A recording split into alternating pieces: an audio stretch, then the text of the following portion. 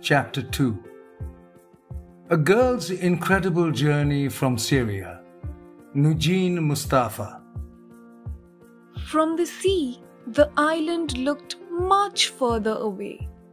Our dark grey dinghy was very small.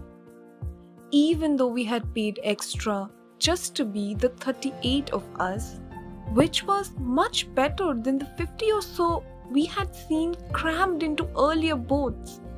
It was still more than double the 15 max it said on the box, particularly with my wheelchair, and it felt very squashed.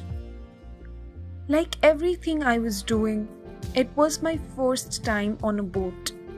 I felt like a six year old, not a 16 year old. Why are you nervous? Asked Nasreen. I am not nervous. I am excited doing everything for the first time. I replied. It's not excitement, it's fear, she said. Don't be afraid.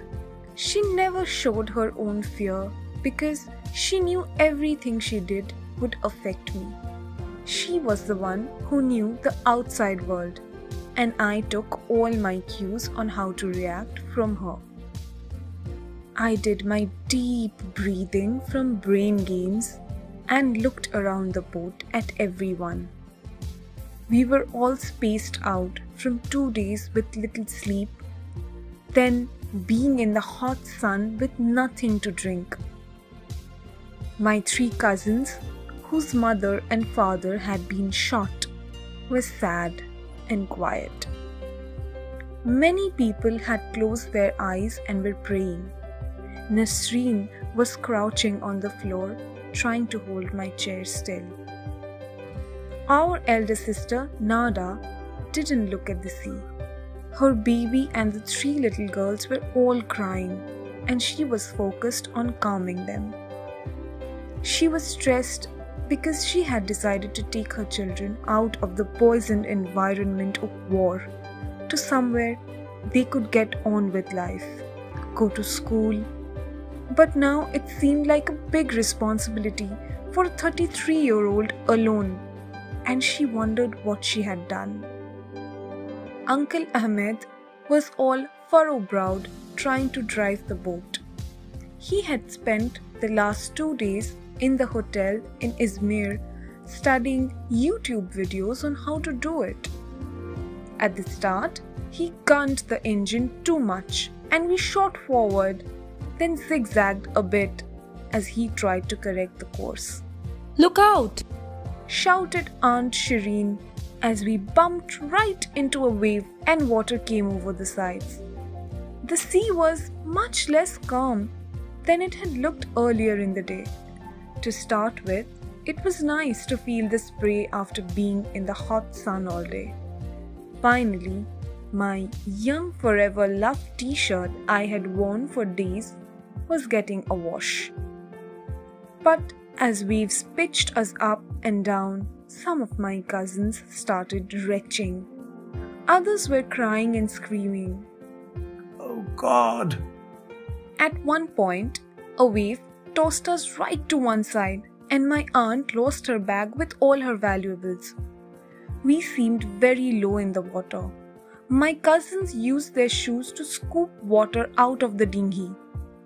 Sometimes people throw things off, but we didn't have much. We should have never brought the wheelchair, said Mahmoud. I felt I should be worried. I knew this water might be our grave. And, of course, I can't swim. I had never been in water. None of us could swim. Yet, sitting in my wheelchair, higher than everyone else, I thought of myself like Poseidon, the god of the sea, in his chariot.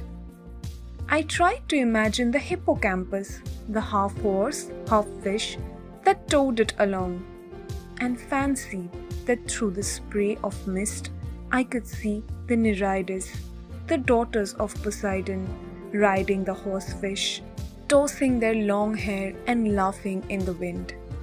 I smiled at the thought. Look, Nada, how beautiful it is. I cried as we were tossed up and down. I laughed every time we were hit by another wave, even though we were drenched through, You need a psychiatrist laughing here. Said someone. Actually, I was praying too, but quietly. We were so intent on our own boat that we didn't see what happened to the other three leaving with us. But Mustafa, scrambling up the cliff to follow our journey with binoculars and report back to our parents, was horrified. As he watched, the first boat left with the waves and was quickly overturned. We were the second boat to go. The third got much of the way and overturned close to the island, leaving the people to swim. The fourth was picked up by the Turkish Coast Guard. Mustafa was in tears on the phone to my father because he didn't know if it was us.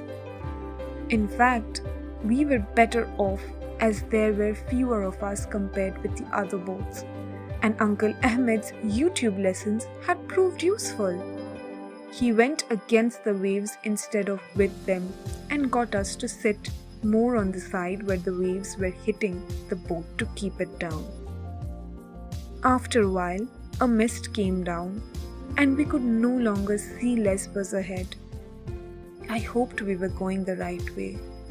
Mahmoud kept looking at my wheelchair. I knew we had agreed that if it became a danger, we would throw it into the sea. But surely he wouldn't really do that. I kept an eye out for pirates and Turkish coast guards. But the only people at sea seemed to be refugees. Hundreds of people were making the crossing every day, and two other dinghies were not far behind us. I didn't realize how close death was.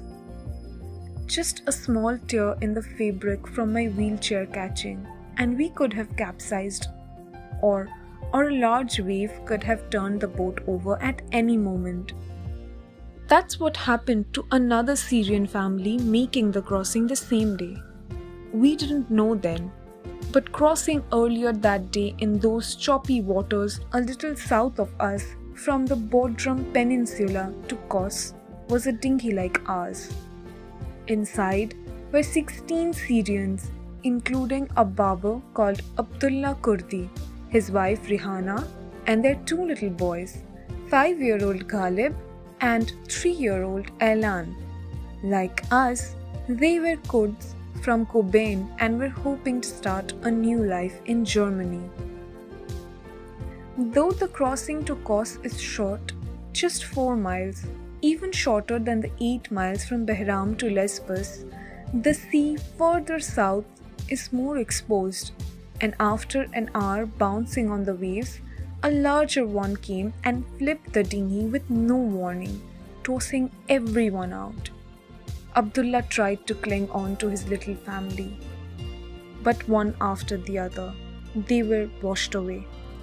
He stayed three hours in the water, desperately searching, but they were lost. Eleven of the passengers drowned, five of them children. The next day, the photograph of little Elan Kurdi lying face down dead in the surf on a Turkish beach, in his smart red shirt and long blue shorts, went round the world. When I saw it later on Facebook, I thought that could have been me. I had to turn the phone off and take a deep breath and try and think to myself, he's an innocent boy. He's in heaven and happy now. When I discussed it with my sisters, we all agreed. If we had heard about it before our crossing, we would have gone back to Gaziantep. For a normal person, the ferry from western Turkey to Mytilene, the capital of Lesbos, costs 10 euros and takes 90 minutes. To make the same crossing as refugees had taken us 12 days to arrange and cost us each $1,500. We had been at sea three and a half hours, and the sun was setting, and we were starting to shiver when suddenly there was the island rising like a giant black rock ahead of us. Soon, we could make out people waiting on the shore. Does anybody speak English? We heard someone shout. I do! I called out. Everyone looked at me. It was the first time I had spoken English to a real English speaker.